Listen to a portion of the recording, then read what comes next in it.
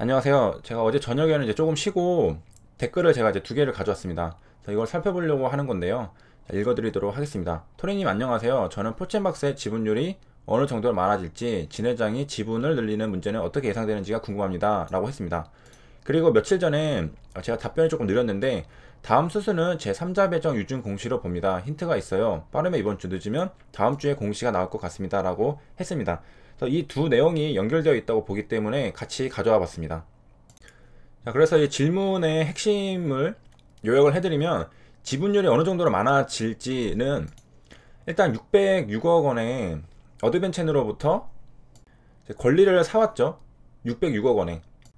사실 여기도 약간 tricky한 문제가 있는데 그 어드벤첸으로부터 사오는 거지 폴첸박사로부터 사온다라고 말을 안 했기 때문에 어, 저희가 모르는 뭔가가 더 있는가 그런 생각도 좀 들긴 하는데 일단 그 물질 특허의 특허권자는 폴첸 박사로 되어 있습니다. 그러면 결국에는 폴첸 박사로부터 특허를 이제 사오는 거잖아요. 그렇게 본다면 606억 원이 폴첸 박사로에게 들어가야 되는데 회사에서는 어드벤첸이 소유하고 있다라고 한 거죠. 그래서 뭐 예를 들면은 그 폴첸 박사가 어드벤첸의 지분을 가지고 있고 어드벤첸에게 넘겼는지 그러니까 그런 거는 아직 정보가 없기 때문에 일단은 그냥 단순한 가정을 한번 하도록 하겠습니다. 그러니까 100% 그냥 폴첸 박사가 다 받아간다. 결국에는 어차피 어드벤첸이 폴첸 박사, 폴첸 박사가 어드벤첸이기 때문에 나 그런 가정 하에 이제 계산을 또 해볼 건데 그러면은 이제 이 핵심 문제는 이제 606억 원 이제 가격은 정해져 있잖아요. 606억 원에 사온다고 했으니까 그런데 이제 HLB 주식으로 받는다고 했을 때는 주식 가격 곱하기 어, 수량이 곧 606억 원이 돼야 된다는 거죠. 그렇다면은 그 HLB 얼마에 이제 어, 대가로 받는지에 따라서 수량이 정해지게 됩니다. 그렇다면은 HLB 주가의 가격을 이제 결정을 하면은 지분율이 나오겠죠. 자, 그리고 이제 힌트를 주셨던 구독자님. 이, 이 말은 어, 이 컨텐츠를 진행하고 나면은 어, 이해가 되실 거라고 생각이 됩니다. 그러면 이제 한번 시작을 해보려고 하는데요. 자, 제가 가져온 기사는 제3자 배정 유상증자가 뭘까라는 겁니다. 주주가 아닌 사람에게 자본 참여 기회를 주는 것이라고 설명을 해놓고 있습니다.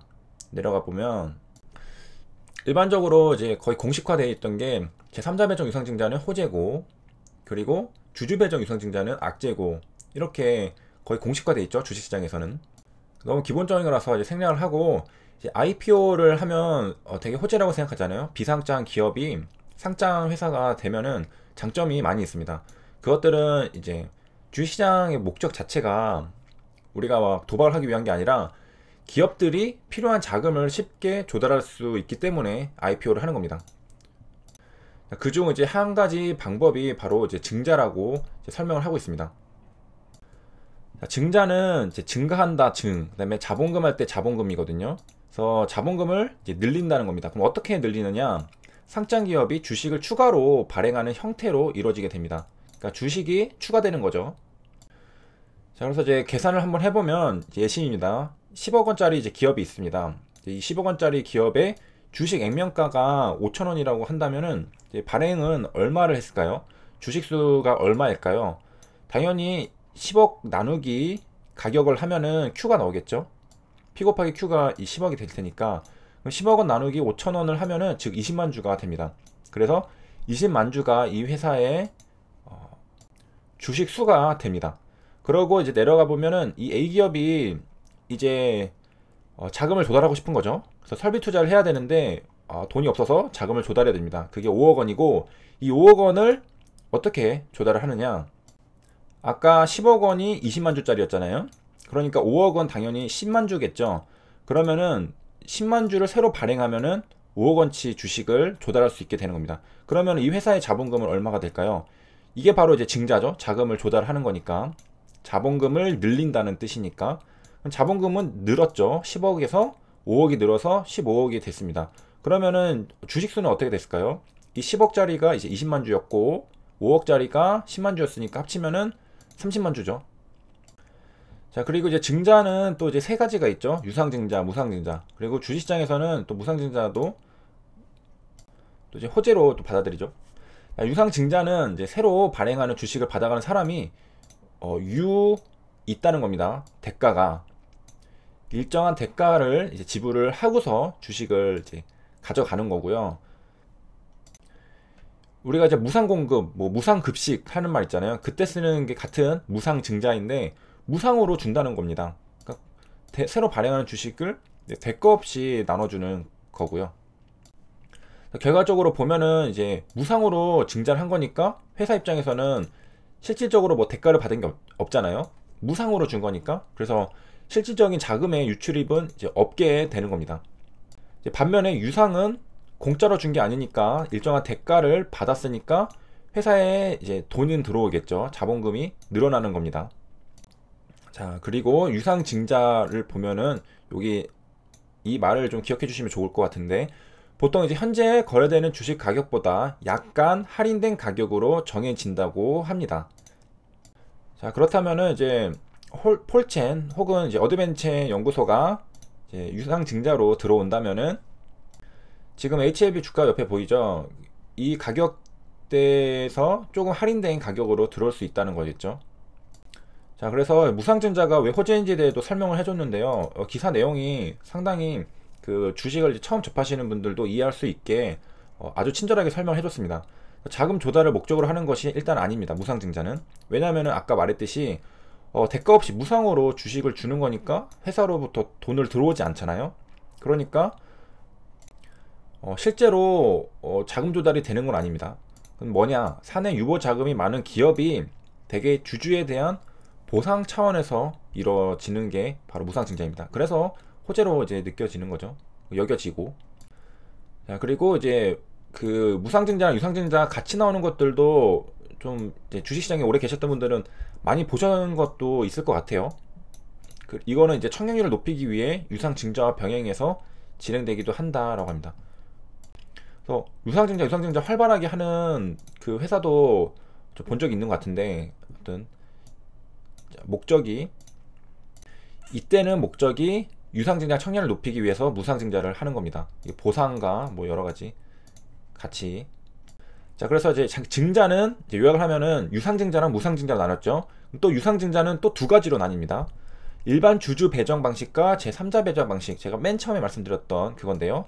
주주 배정은 기존의 주식을 갖고 있는 주주라면 누구나 증자에 참여할 수 있는 방식이다 라고 되어 있고 일반적으로는 이제 악재라고 생각을 하고요. 만약 주주를 대상으로 한 유상증자 공개 모집에서 청약이 미달되면 미달된 주식 수만큼 실권주가 발생한다 라고 하고요. 이 실권주라는 것은 주주가 아닌 일반인들에게 공모에 다시 청약을 받는다고 합니다. 그러니까 자금 조달을 했는데 주주들이 아, 그다 이제 더 돈은 못 넣겠다. 그 너랑 같이 침몰할 일이 있냐 그래서 돈을 더 넣지 않았어요. 그러면은 이제 그 미달한 부분이 있잖아요. 그거는 주주들한테도 못 받으니까 일반인들에게 그러면은 그 여러분 혹시 돈 넣으실 분 있으신가요? 물어보는 거죠.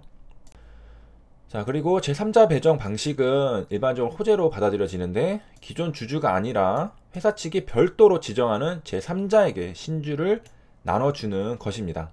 이미 사전에 이야기가 돼서 자금 조달을 받은 거죠. 제3자 배정 방식을 잘 생각을 해보면 이렇게 생각해 볼 수 있죠. 이게 진짜로 돈을 넣으면은 앞으로 사업이 너무 좋다. 너무 성장성이 좋아가지고 야 자금을 더 넣어서 어, 돈을 많이 벌게 해줄 수 있다.